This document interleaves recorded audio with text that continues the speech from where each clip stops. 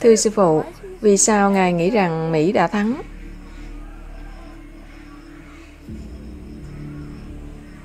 Cảnh báo, nội dung nhạy cảm.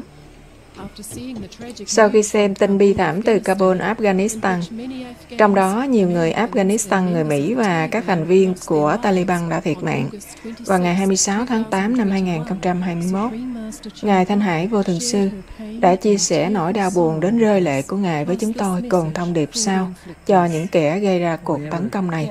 Bất cứ ai đã tiến hành khủng bố như vậy, đối với những trẻ em vô tội và phụ nữ, người già, cũng như thanh niên, là hèn nhát, mang rợ, làm việc cho ác quỷ, làm việc cho Satan. Họ cũng là kẻ thù của Hồi giáo vì họ làm cho con người trên thế giới nghĩ rằng Hồi giáo là bạo lực, Hồi giáo là giết hại. Họ không phải người Hồi giáo, họ là kẻ thù của người Hồi giáo. Cứ đi ra ngoài bất cứ đâu và giết người một cách bừa bãi. Khi người ta không chuẩn bị, không vũ trang như thế, họ không phải là người Hồi giáo, họ không tạo ấn tượng gì cả, họ không làm cho người ta hiểu gì hết. Chỉ giết người, không làm cho bất kỳ ai hiểu được quý vị. Quý vị phải nói với người ta quý vị muốn gì, có chuyện gì và điều gì không đúng. Với quý vị hoặc với bất cứ ai, ý tôi nói người dân Kabul đang rời khỏi Afghanistan rồi, rời khỏi đất nước rồi. Họ không còn làm gì, bất cứ gì ở đó nữa, thỏa thuận hòa bình được ký kết, họ chỉ muốn rời đi thôi. Bất cứ ai tổ chức cuộc tấn công như thế là tà ác.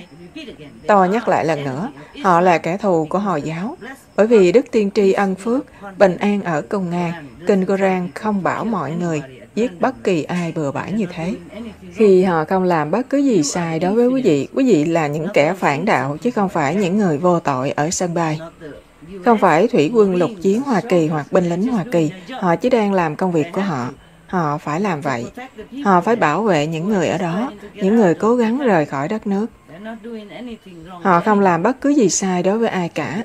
Vì vậy, những kẻ tấn công họ là kẻ thù của tất cả mọi người trên thế giới, đặc biệt là kẻ thù của người Hồi giáo, bởi vì họ bôi nhọ thanh danh của người Hồi giáo.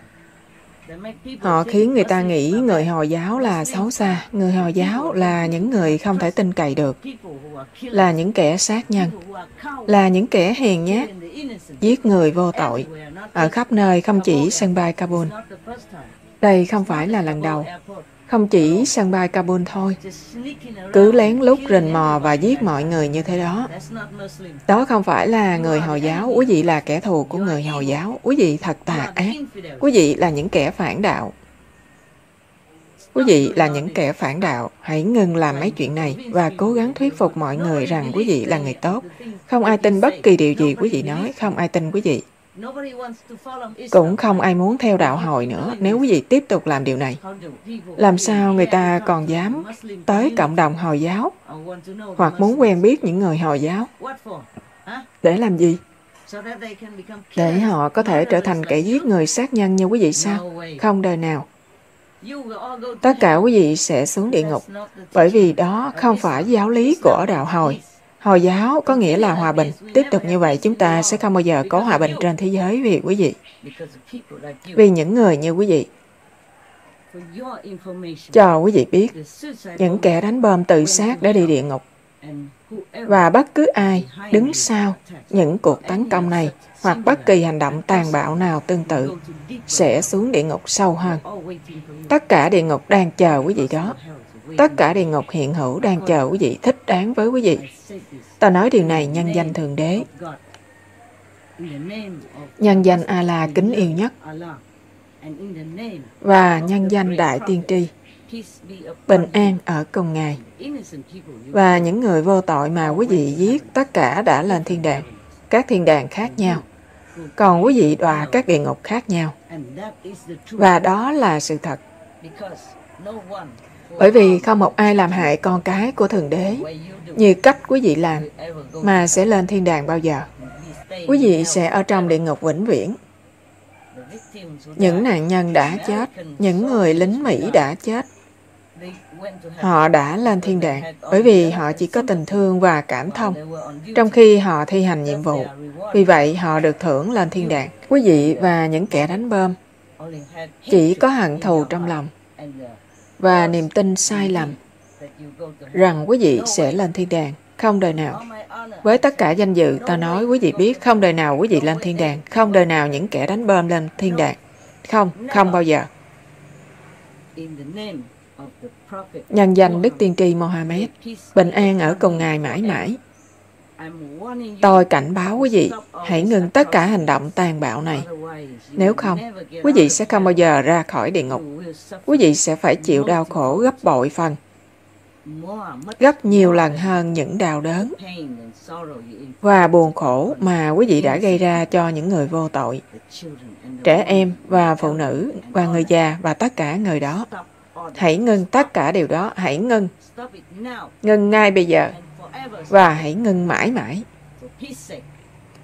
Vì hòa bình, vì tình thương Thượng Đế, hãy ngừng tất cả điều đó. Hãy kiếm một công việc bình thường như những người này. Họ chỉ muốn trở thành những con người bình thường. Hãy sám hối để Thượng Đế tha thứ cho quý vị. Hãy sám hối trước khi quá muộn.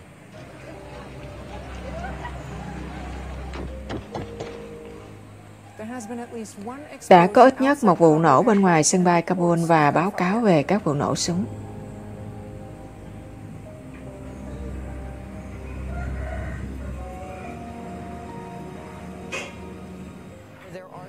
Có thương vong đáng kể, bao gồm một số người Mỹ, từ cuộc tấn công tự sát bên ngoài sân bay chính của nước này ở Kabul.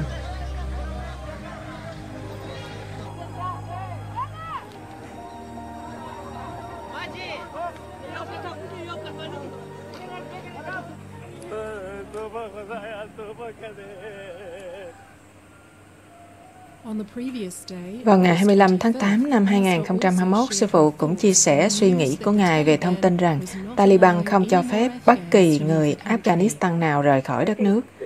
Tôi nghĩ Taliban phải nên để người Afghanistan và người Mỹ ra khỏi Afghanistan. Vì nếu muốn cai trị, tại sao phải giữ kẻ thù quanh mình chỉ để có như quả bom nổ chậm sao? Rất là không khôn ngoan khi ngăn chặn người gọi là kẻ thù, chạy ra khỏi đất nước. Cứ để họ đi. Tốt cho họ, tốt cho quý vị.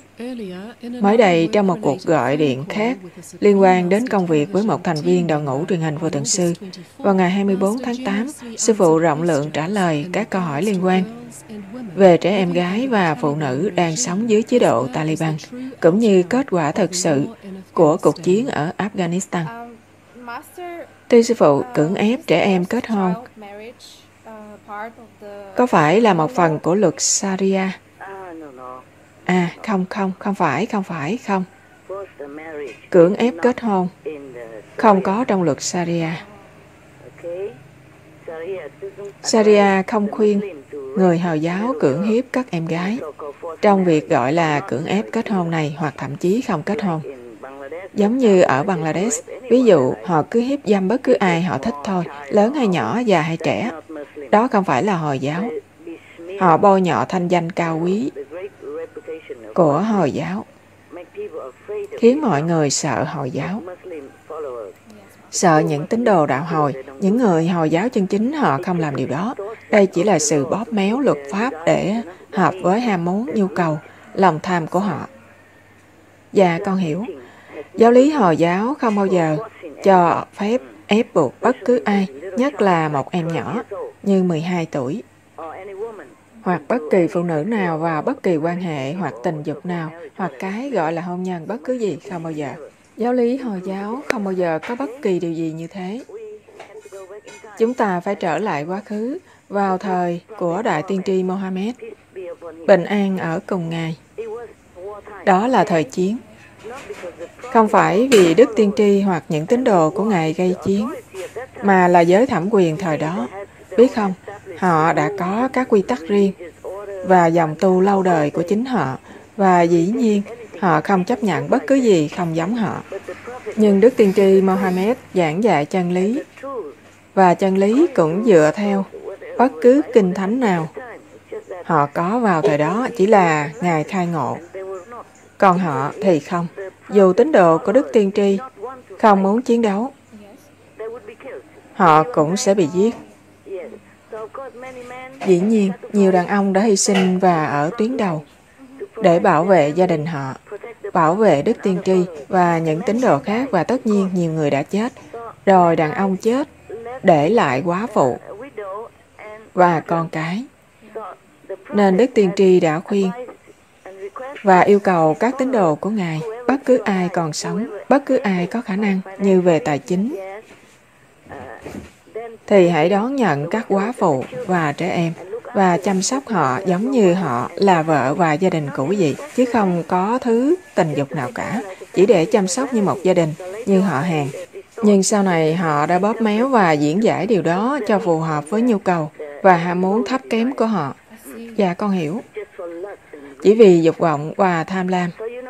Cho nên, quý vị biết đó không phải là luật Sharia. Luật Sharia, tôi chỉ nói một vài ví dụ, chỉ để khuyên đàn ông và phụ nữ cách để sống cuộc đời họ, để họ được hòa thuận hơn trong gia đình. Như quý vị không ăn mặc hở hang và ăn mặc đứng đắn để che thân mình khi nói chuyện với đàn ông lạ nếu họ đến nhà quý vị để không kích động bất cứ điều gì gây hiểu lầm. Và điều này có thể dẫn đến điều không tốt cho hôn nhân và sự hòa hợp của mối quan hệ trong gia đình. Đại khái như vậy. Và nếu họ ra ngoài, họ cũng nên ăn mặc đứng đắn, không bó sát hoặc để lộ quá nhiều cơ thể của họ. Nhưng không phải như bắt buộc. Và che kín khắp khuôn mặt như thế. Có lẽ thời đó che mặt cũng tốt để kẻ thù không nhận ra họ. Dạ đúng, vì sự an toàn của chính họ. Cho nên, điều này không thật sự cần thiết nữa, và đó không phải là luật Sharia. Thưa sư phụ, trước đây Ngài có đề cập đến hôn nhân sắp đặt ở Âu Lạc Việt Nam. Ngài có thể cho chúng con biết thêm hôn nhân đó đã được thực hiện như thế nào? Ở Âu Lạc Việt Nam, cái gọi là hôn nhân sắp đặt hoặc hôn nhân ân thuận yêu cầu chú rể đến làm việc với gia đình nhà gái trước trong vòng 3 năm.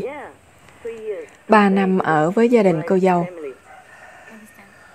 để họ có thể quan sát tính cách của anh ấy. Quý vị hiểu không? Và xem anh ấy có đáng tin cậy để cưới con gái họ hay không. Và cô gái trong khi đó cũng tìm hiểu chàng trai, gặp gỡ chàng trai để làm quen với nhau, xem họ có thích nhau không, có hòa hợp về mọi mặt hay không. Và sau đó nếu họ đồng ý, nếu cô gái đồng ý và gia đình chấp nhận chàng trai, thì họ có thể đồng ý. Sau đó chàng trai phải mang của hồi môn lớn, rất nhiều xính lễ cho gia đình, cho cô gái. Và trong ba năm này, chàng trai phải làm việc thật chăm chỉ. Ý tôi là để cho họ thấy anh ấy làm việc chăm chỉ và anh ấy phải cẩn thận cách cư xử và cách phối hợp, hợp tác với gia đình và làm hài lòng họ, cả cha mẹ, các thành viên trong gia đình và cô gái. Cho nên đó là cách gia đình ở Âu Lạc Việt Nam thời xưa bảo vệ con gái quý giá của họ và đó là cách chàng trai thể hiện sự tôn trọng và tình cảm của mình đối với cô gái trước khi anh ấy thậm chí có thể cưới cô ấy. Ồ con hiểu, trong ba năm này, gia đình cô dâu luôn có thể hủy bỏ lời cầu hôn. Hoặc chú rể cũng có thể không thích cô gái hoặc gia đình cô gái. Hoặc bất cứ lý do gì, anh ta cũng có thể hủy hôn và về nhà. Đó là cách chúng tôi thể hiện sự tôn trọng đối với phụ nữ. Đó là cách chúng tôi bảo vệ cô gái trong gia đình ở Âu Lạc Việt Nam. Trước đây, bây giờ quý vị có thể tưởng tượng như thế nào không?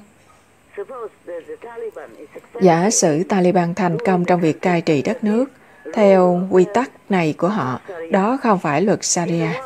Trên thế giới, một nửa là nữ giới, một nửa là nam giới, phải không? Rồi, vậy một nửa đất nước dưới sự cai trị của Taliban sẽ như thế này.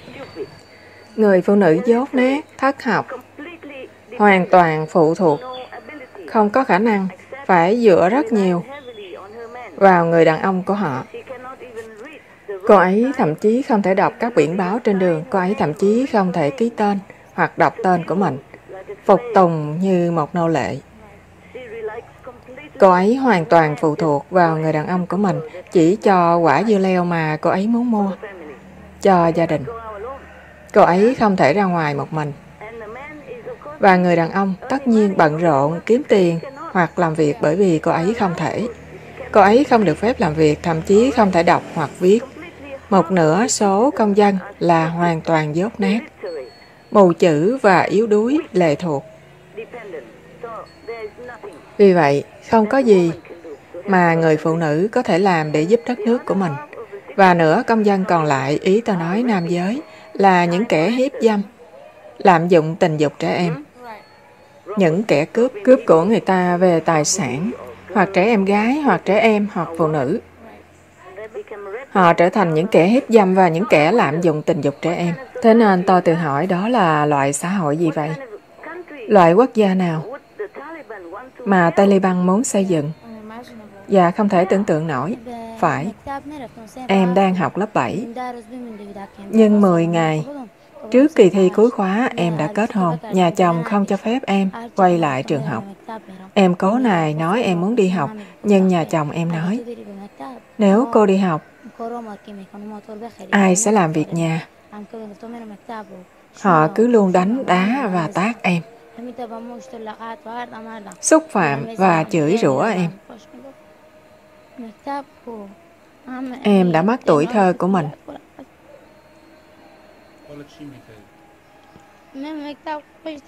Em yêu thích trường học và đang đi học nhưng họ không cho phép em. Vấn đề là họ bảo các cô gái không được đến trường học bình thường. Marasa trường đạo là đủ rồi, đi đến trường tôn giáo là tốt rồi để học về luật Sharia, Kinh Koran và Hồi giáo. Nhưng họ giữ các cô gái hoàn toàn trong bóng tối như người mù. Họ muốn để các cô gái mù chữ. Và tôi cũng tự hỏi, cộng đồng quốc tế, toàn cầu đàng hoàng nào mà muốn bắt tay với họ, hợp tác với họ, hoặc làm ăn với họ, hoặc thậm chí nhìn họ. Làm sao họ đối phó với kẻ hiếp dâm và những đàn ông lạm dụng tình dục trẻ em và phụ nữ ngu dốt? Một nửa đất nước là dốt nát, một nửa kia là bạo lực. Dạ đúng.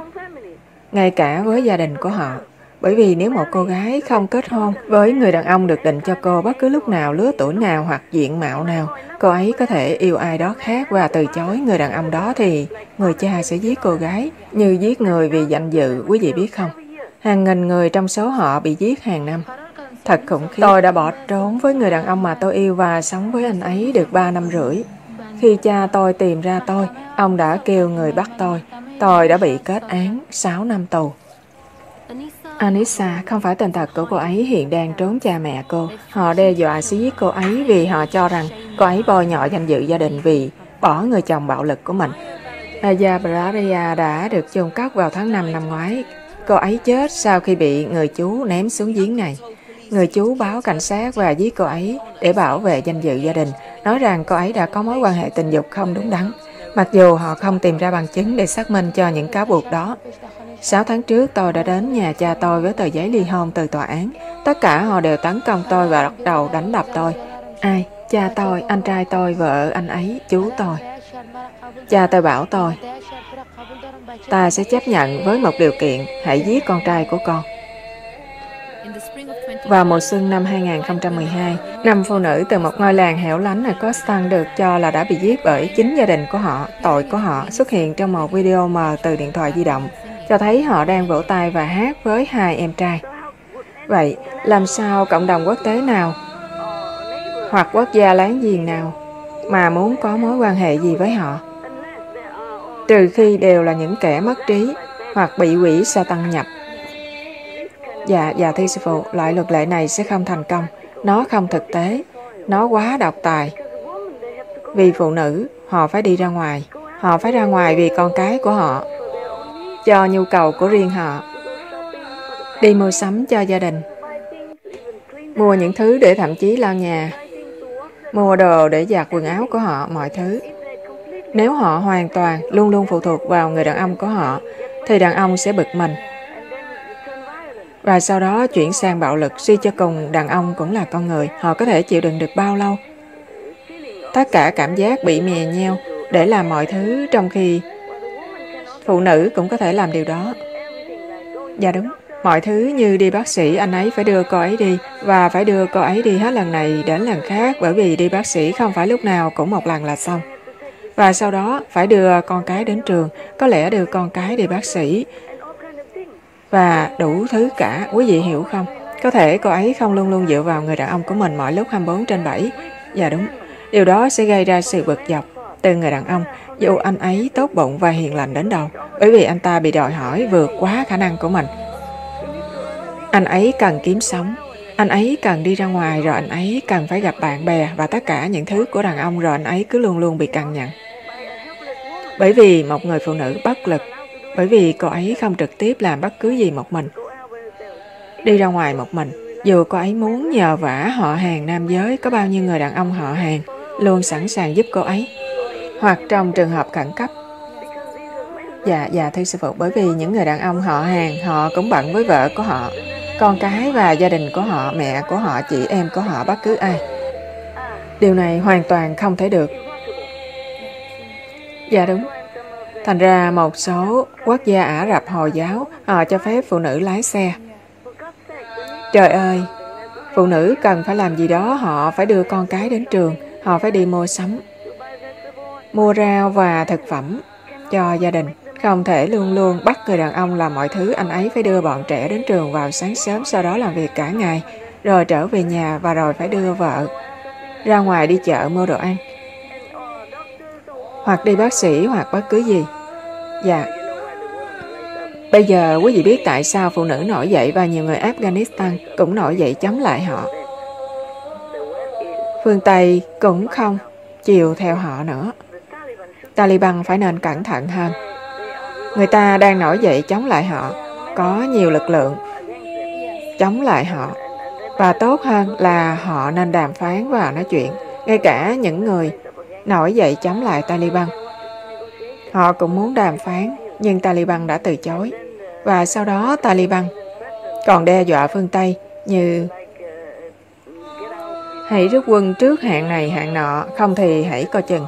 Ồ, tốt hơn họ đừng làm vậy, bởi vì người Mỹ và lực lượng quân sự phương Tây họ có thể đã rút ra khỏi đất nước này, nhưng họ luôn luôn có thể quay lại và mạnh mẽ hơn, kiên quyết hơn nếu họ quay trở lại.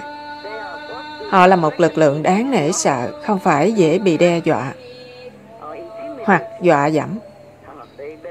Ồ, tốt hơn là Taliban không nên hăm dọa người phương Tây và nhất là người Mỹ. Tổng thống Trump đã ký thỏa thuận hòa bình vì ông yêu chuộng hòa bình. Ông không muốn công dân nào bị hại cả, dù ngẫu nhiên hay vô tình, hay là vì đánh nhau. Đôi khi cái giá phải trả là sinh mạng của người dân. Ông không muốn tất cả điều đó bởi vì ông thương người, ông yêu hòa bình. Nhưng điều đó không có nghĩa là Taliban có thể tiếp tục ép buộc họ hoặc đàn áp họ, hoặc đe dọa họ. Người Mỹ không bị đe dọa đâu. Và có trời mới biết loại sức mạnh và vũ khí mà họ có. Dù Taliban nắm được tất cả vũ khí còn sót lại của họ, đó không thấm gì đối với họ, họ có nhiều hơn nữa và thậm chí còn tốt hơn, hiện đại hơn. Nên tôi không biết tại sao Taliban bây giờ lại quá kiêu ngạo như thế. Tốt hơn là họ không nên như vậy. Hợp tác hơn và đối xử với công dân của họ bằng sự tôn trọng và quan tâm. Chưa nói gì đến tình thương và lòng từ bi. Tôi không biết họ có thể làm điều đó không. Cách họ tra tấn phụ nữ giết phụ nữ hoặc giết bất kỳ ai bừa bãi như thế chỉ vì người ta đã làm việc cho người Mỹ. Nên như tôi đã nói, Tổng thống Trump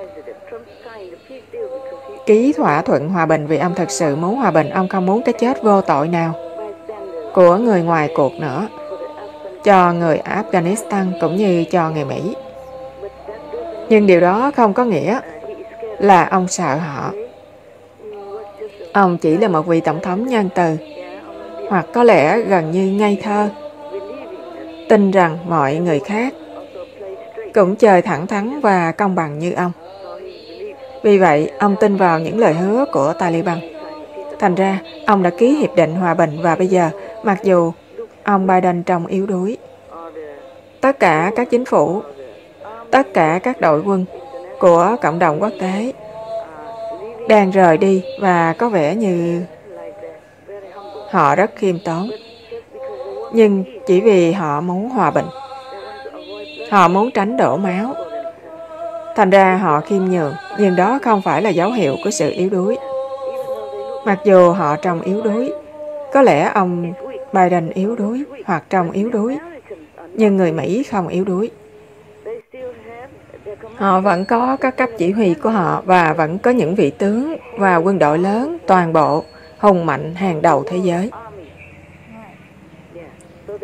Nên họ thậm chí có thể phớt lờ ông Biden để bảo vệ những người Afghanistan vô tội, bất lực, như phụ nữ và trẻ em. Vì vậy, không ai nên khiêu khích người Mỹ. Không ai nên coi thường người Mỹ.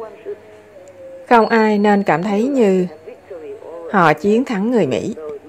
Mặc dù trông có vẻ như vậy, mặc dù bây giờ có lẽ họ có vẻ nhún nhường vì muốn hòa bình nhưng không phải mãi mãi. Nếu thúc ép quá lâu và quá mạnh, họ có thể đáp trả. Và lần này, họ sẽ làm tới cùng. Vì vậy, bất cứ ai cảm thấy như họ chiến thắng người Mỹ, họ nên suy nghĩ lại. Dạ. Đó là những gì tôi muốn nói, bởi vì không ai nên lộn xộn với người Mỹ. Ồ dạ, dạ thưa sư phụ.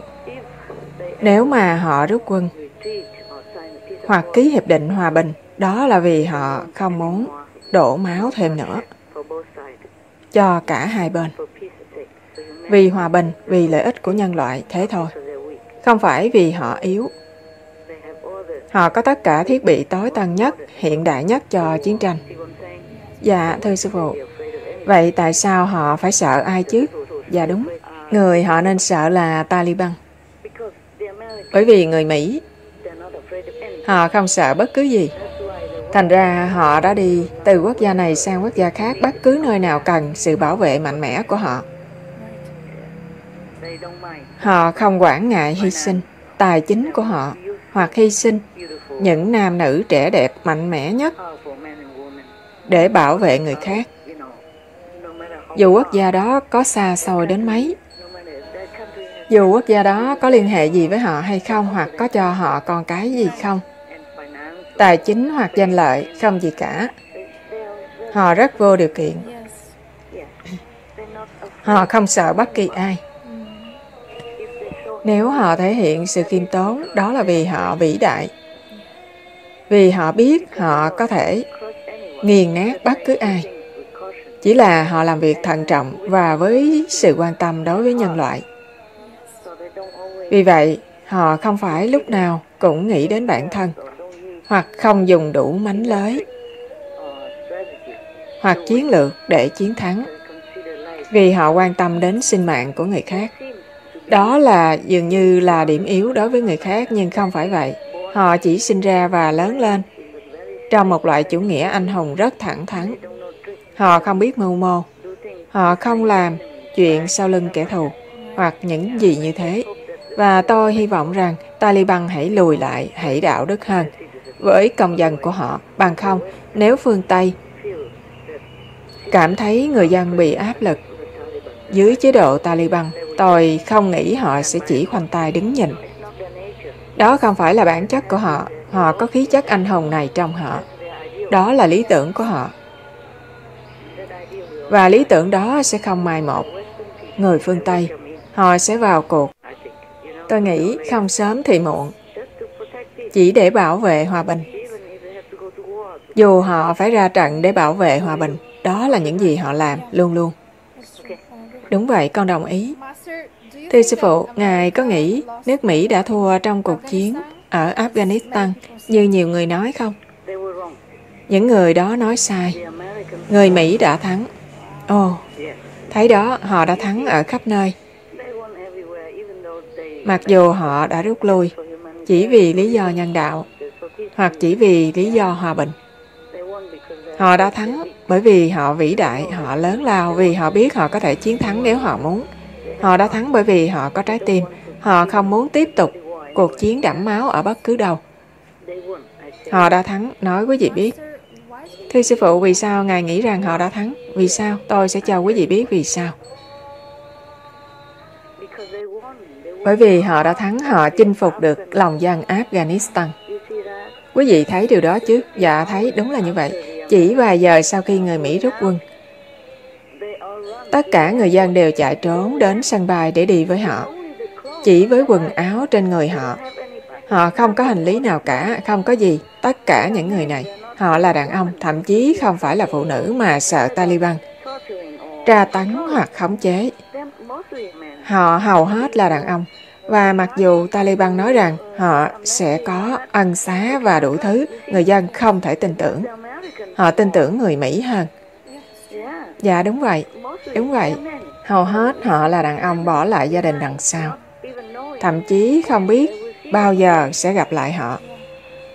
Dạ, họ chạy đến người Mỹ bởi vì họ tin cậy người Mỹ hơn là họ tin người của họ, Taliban. Và trong khi những người Afghanistan khác biết nguy hiểm và hậu quả vẫn đi ra ngoài trên đường phố để biểu tình.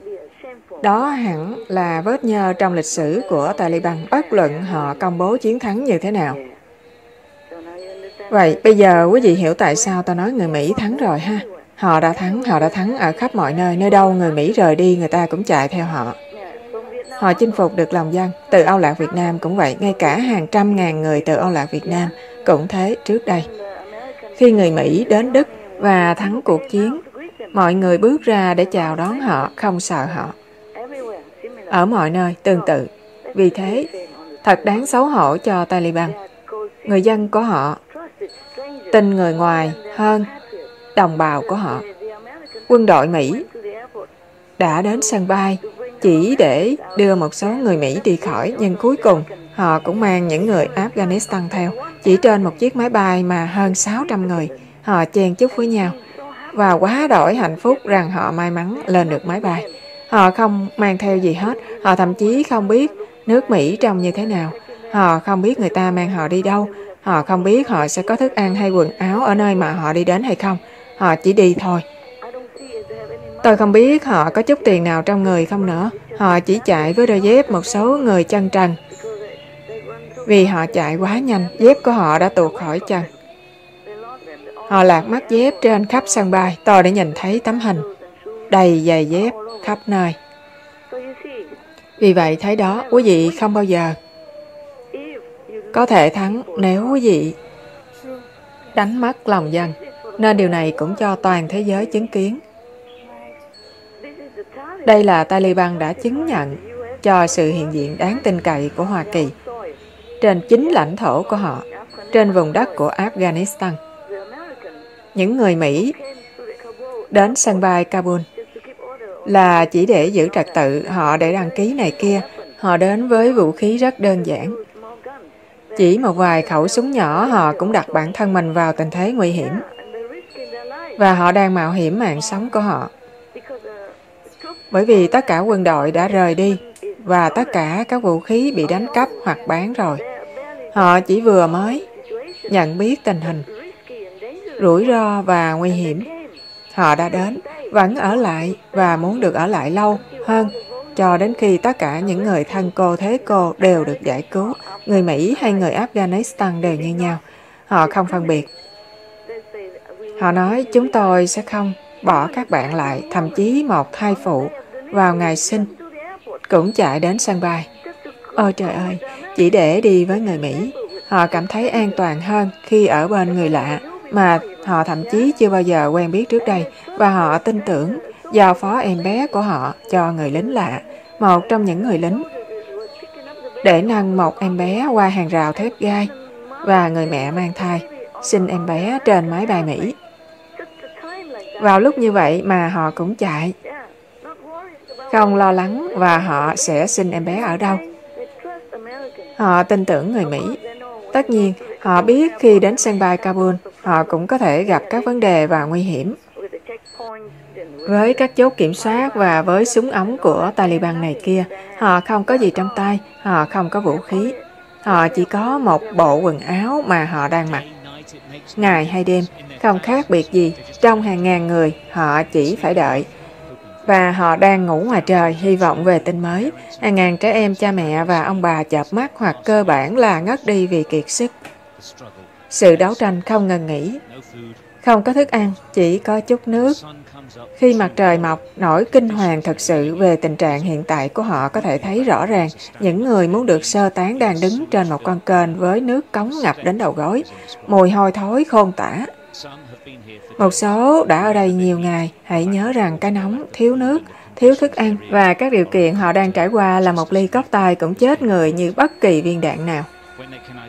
Khi có thể xác định danh tính mọi người với các giấy tờ hợp lệ kèm theo, họ mới được kéo ra khỏi kênh. Không có bóng râm ở đây. Thứ duy nhất có thể che chắn họ là khăn quàng và nhựa.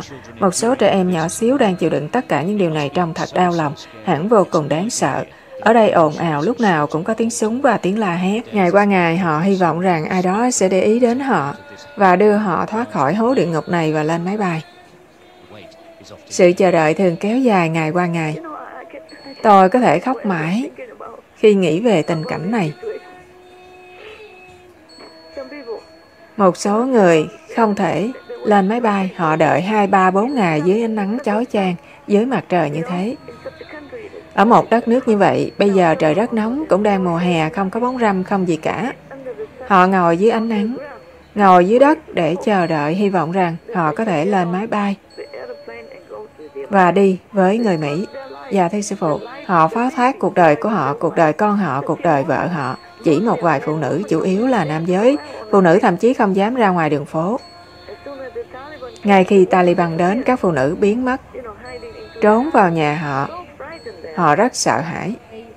Họ tấn công em gái tôi với bán súng. Và rồi sau đó một người lính Mỹ ngăn chặn họ lại và đưa chúng tôi vào đây. Bây giờ chúng tôi không biết phải làm gì nếu rời khỏi đây. Thiếu nữ này chạy trốn khỏi thành phố Herat ở phía Tây khi các chiến binh Taliban tiếp quản và cô ấy bị ép buộc kết hôn với một người trong số họ trong quá khứ khi Taliban không ở đây. Chúng tôi có đời sống hầu như tốt đẹp. Tôi đã làm việc, có thể làm việc, có thể lái xe, nhưng bây giờ thậm chí không thể lái xe, tôi đã bán xe của tôi rồi.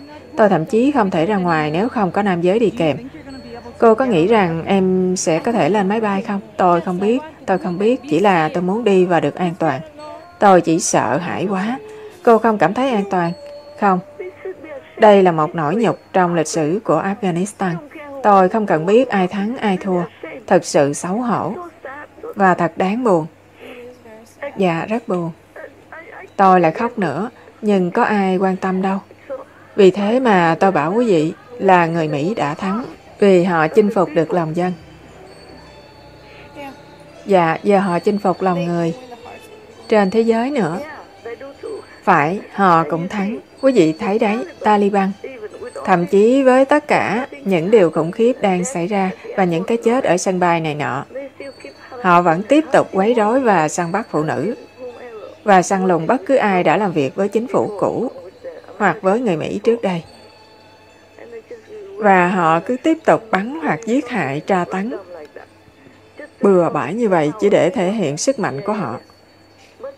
Nhưng lòng dân còn mạnh hơn. Bất kỳ loại vũ khí nào, tin hay không? Dạ đúng. Quý vị thấy lòng những người tuyệt vọng và ngay cả thai phụ và với người mẹ đã đưa em bé đến đó và tin cậy trao em vào vòng tay của người lính Mỹ những trái tim, những tấm lòng đã chỉ huy, mặc dù âm thầm, chỉ huy các chiến binh mạnh mẽ nhất trên địa cầu, đã đến giải cứu họ mạo hiểm mạng sống của binh lính. Bất chấp nguy hiểm rất lớn đối với mạng sống của chính họ, đối với mạng sống của những người lính Mỹ, những trái tim, những tấm lòng đó.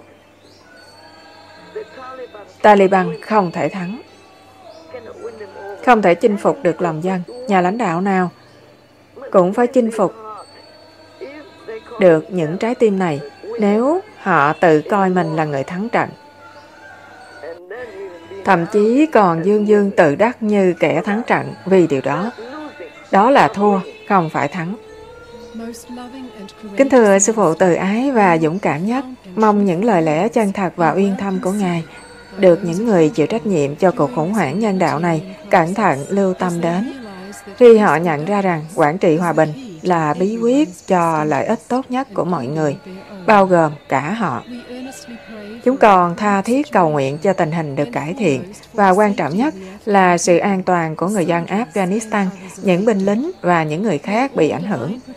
Cầu mong tất cả đấng bảo hộ thiên liêng tiếp tục hỗ trợ sư phụ Trang Quý và bảo đảm Ngài luôn khỏe mạnh và bình an.